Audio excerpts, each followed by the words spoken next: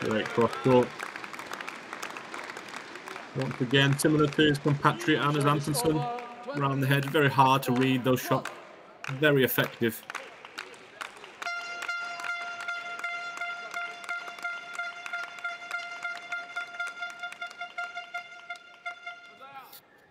Eight match points for Rasmus Gemke.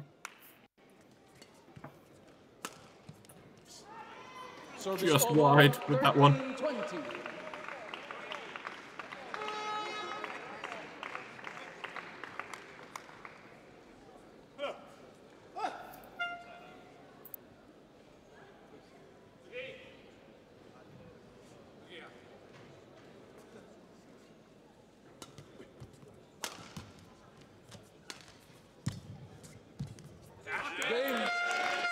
And he's done it.